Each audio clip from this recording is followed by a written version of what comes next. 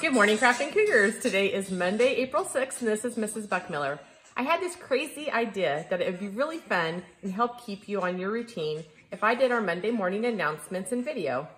I also want to say that we miss you terribly. It was so amazing to see so many of you during the staff parade.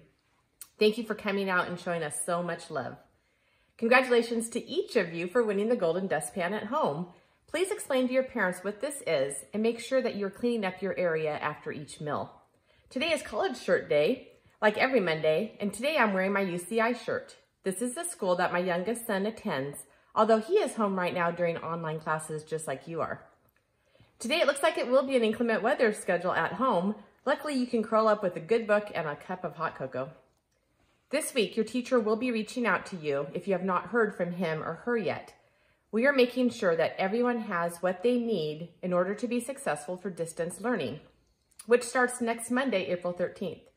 Your teacher will be sharing the online schedule with you later this week. Parents, please see the RUSD toolkit on the district's website as this is the week to pick up Chromebook loaners if you do not have a device at home.